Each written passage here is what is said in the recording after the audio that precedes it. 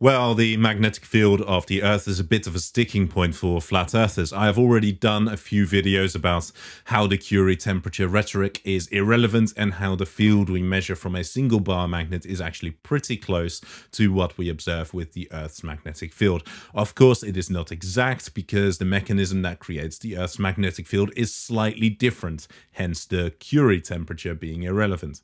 But I figured out that I would take a slightly different approach and rather than explore what the magnetic field actually looks like in reality, I would explore what it would have to look like on a flat Earth.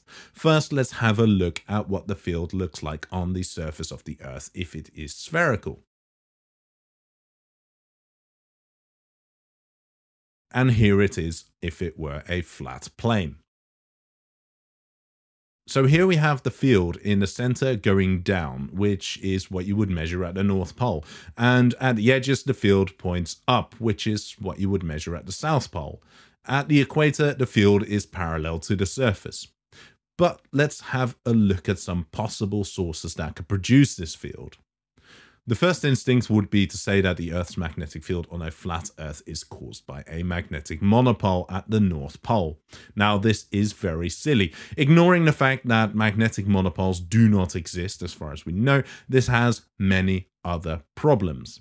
Firstly, we have the inverse square law. The magnetic field strength would decrease by the inverse of the distance from the North Pole squared. This would be most noticeable in the Northern Hemisphere as the magnetic field strength at the 60 degree line of latitude would be half the strength of the field at the 75 degree line of latitude.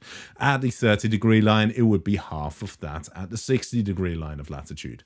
Secondly, the dip in the magnetic field cannot be explained by this. In the case of a magnetic monopole, the Earth's magnetic field would always be parallel to the Earth's surface, and we can measure the field to conclude that this is simply not true. So clearly, a magnetic monopole is not feasible.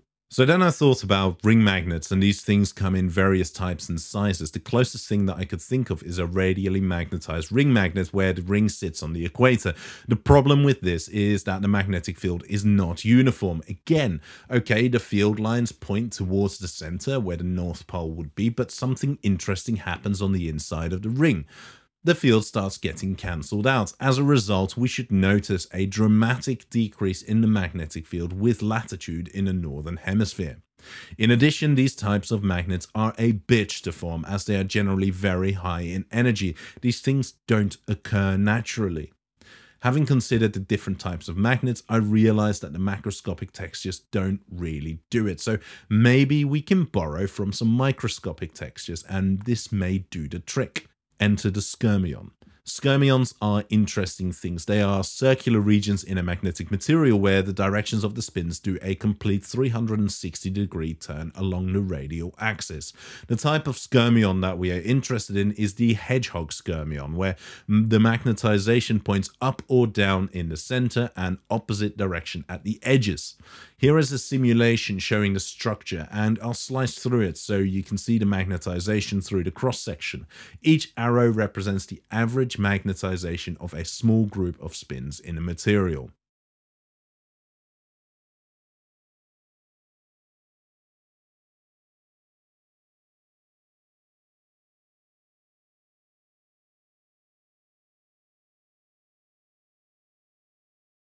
I will now run it again, but in such a way that you can see the spins in each slice side on.